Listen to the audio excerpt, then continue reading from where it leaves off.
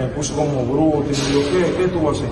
Me estaba como, o sea, yo no, baboso, espérate, yo contigo no puedo estar, pues tú sabes, yo te bregaba sí, tú te ayudan en todo, y esto y que el otro, se me puso bruta, o sea, yo la convencí a ubicar, nada, la solté porque me asusté, o sea, yo nunca he tenido problemas con nadie, la gente me conoce, su familia me conoce, mi familia también me conoce, yo nunca he tenido problemas con nadie, ni nada.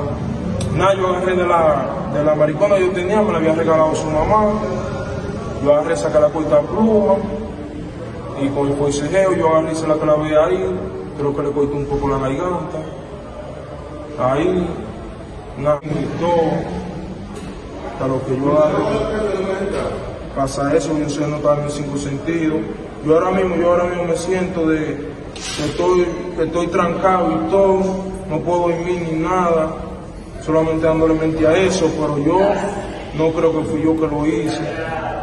Ajá. Pues chúpate esos 30, pendejo. Sí, porque yo sé que tú eres una persona pacífica, porque yo sé cómo tú eres. Que yo le estoy diciendo, "No, señor, pero ¿qué le pasa? Yo, ¿y por qué usted me agrede? ¿Tú me entiendes?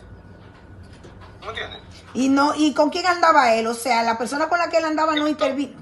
Estaba con varias personas más. Yo no sé cuál de ellos fue que me lo quitó de encima y luego me agarra, porque yo no lo vi. El otro me zarandea, me, me, agarrándome para, para, como para que el tipo se vaya, ¿tú me entiendes?